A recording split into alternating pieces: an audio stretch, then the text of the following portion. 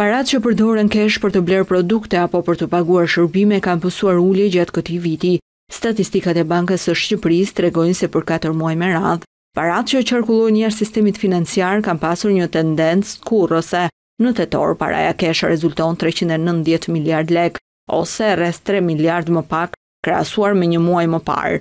Ulja e parave që përdoren në dorë për një ekonomi është një tregues i rëndësishëm për përmirësimin e nivelit të informalitetit. Tre vitet e fundit ka pasur një trend të fortë për të përdorur kartat e debitit dhe të kreditit. Kjo e lidhur me pandeminë, por edhe me reduktimin e kohës apo uljen e kostos për sipërmarrësit. Por pavarësisht kësaj, shqiptarët vijojnë që të preferojnë pagesat me lekë në dorë, kundrejt atyre me anë të bankave. Për të ulur këtë kulturë pagese Shoqata e Bankave ka propozuar një nismë ku qytetarëve t'u vendoset një limit për vlerat e keshit.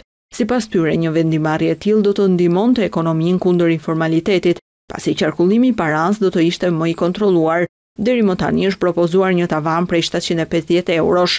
Pra, qytetarët nuk mund të paguajnë me para në dorë mbi këtë limit. Po ashtu, një tjetër propozim është edhe që tavani i lejuar për pagesa kesh të jetë sa paga mesatare që ka vendi, por deri më tani ende nuk ka një vendimmarrje nga Banka e Shqipërisë apo Ministria e Financave.